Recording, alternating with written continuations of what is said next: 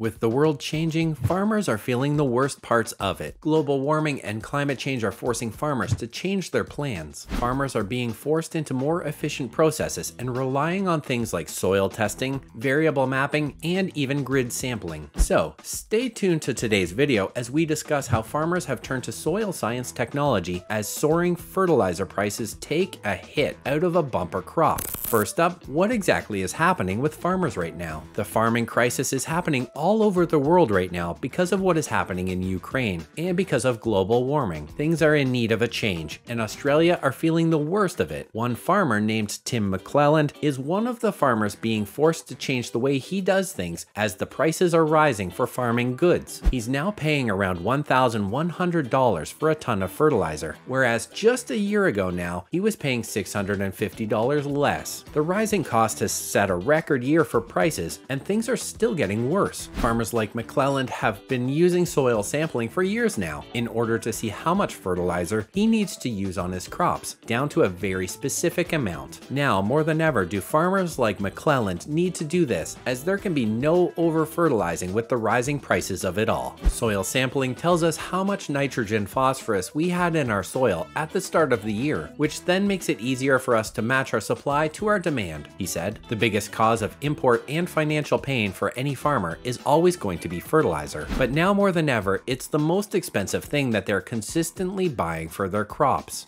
One of the leading agricultural analysts in Australia, Andrew Whitelaw, has said that the prices per ton of fertilizer has more than doubled the price from between 2017 and 2020. Farmers are being employed to use less fertilizer to save money, and using soil sampling is the best method for that. According to Cheryl Kalisch Gordon, commodities analyst at Rabobank, Australian farmers use 6 to 7 metric tons of fertilizer per year, with the usage of some fertilizers forecast to increase due to the nation's growing agricultural production. Kalisch Gordon said Australia's supply was particularly exposed to the international market, with a heavy reliance on foreign importation. Australia imports 100% of its potassium, one of the nutrients in fertilizer, from the US, Canada, and Belarus. But imports from Belarus are currently impossible due to the war in Ukraine. Australia also imports 93% of its urea, which primarily comes from Qatar, Saudi Arabia, and China. Kalisch Gordon said that this supply is also strained due to China's export bans to secure its domestic supplies. Soil sampling is in place to be able to save fertilizer, in combination with the nitrogen bank numbers all farmers use. They are designed to allow a farmer to achieve 80% production potential. The testing hasn't really made too much of a difference to a farmer like McClelland, but it has helped him redistribute some fertilizer to an area that needed it more. His farm was using less fertilizer last year as the farmer planted less fertilizer intense plants like lentils. Justin Everett is the chair of the New South Wales Farmers Grains Committee, and he expects the use of soil and grid sampling to increase dramatically. He also said that the prices have taken a massive hit, meaning that the savings put away just aren't there. We thought we'd had a pretty good run last year, and and lo and behold, all these high fertilizer prices, high fuel prices, and then high chemical prices have just eaten away at the excess that you probably plan to put away for a drought, he said. Clearly, all of these problems are making farming even harder for these farmers than it already was. They were already dealing with fewer yields, more expensive equipment, and of course, prices going up for the food they are selling. Farmers all across the globe have to deal with so many issues, and this is just another one added onto the pile. What do you think? think about all of this? Let us know down in the comments section below. And now, on to some other farming news and information from the last few weeks. Next, what is the deal with regenerative farming? Nutrition is really important when it comes to us eating the right foods, but did you know that changing what the plant itself eats can actually affect how the food tastes for us? This is why regenerative farming needs to be just right, as changing how the food tastes too much basically changes the entire food in the first place. A recent study came along and it compared various nutritional contents of grown crops that were using traditional methods to those using regenerative methods. In their findings, they discovered that these foods grown in regenerative farms contained, on average, more calcium, magnesium, zinc, and potassium, as well as more vitamins. These crops were also much lower in those elements that can impact humans in a bad way, such as sodium, nickel, and cadmium. It was also found that in both beef and pork, raised on a regenerative farm that they had higher levels of omega-3 fats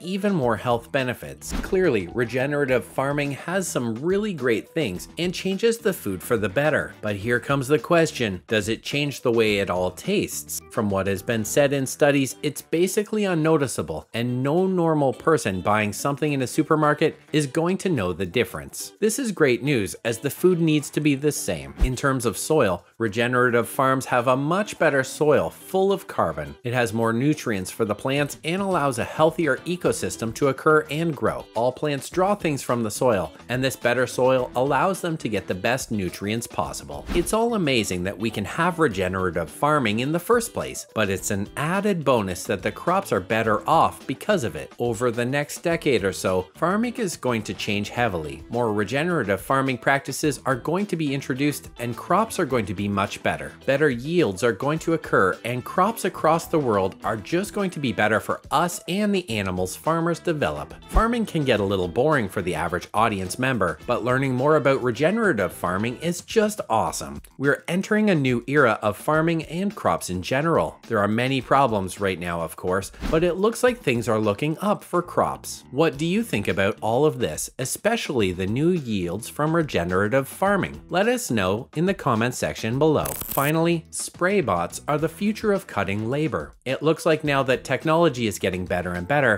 farming labor is going to be reduced. We can see this already about to take effect in Australia, as these spray bots are cutting costs, labor, and all for an inexpensive price. Here are the key facts that we know right now. New and automated spray bots have already saved farmers hundreds of dollars on labor, chemicals, and of course gasoline. Those who have purchased these bots are already getting 100% of their return inside of two years of having them. And the same manufacturers are predicting that tractors will be automated within 10 years. Things are steadily changing in this industry and it's awesome to see. It's going to save a lot of time, money, and of course increase the yield. Some have stated that they need an employee to keep an eye on the automated spray bots and rigs, but one farmer has done something special. Tom Coggan from Coggan Farms actually controls all of it from his iPad and waits for it to notify him of refills needed for the rigs. He also went on to talk about how the robots are in fact getting the so-called boring job of the farms, which makes a whole lot of sense. His business has also gone up to 90% on